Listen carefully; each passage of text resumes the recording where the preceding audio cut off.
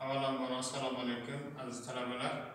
Bugungi laboratoriya ishimizning mavzusi qattiq jismlarning chiziqli kengayish koeffitsiyentining temperaturaga bog'liqligini aniqlash. Xo'sh ishdan maqsad latun ko'lat shishaning e, chiziqli kengayish koeffitsiyentining temperaturaga bog'liqligini o'rganish. Xo'sh bu yerda laboratoriya jihozlarimiz mavjud.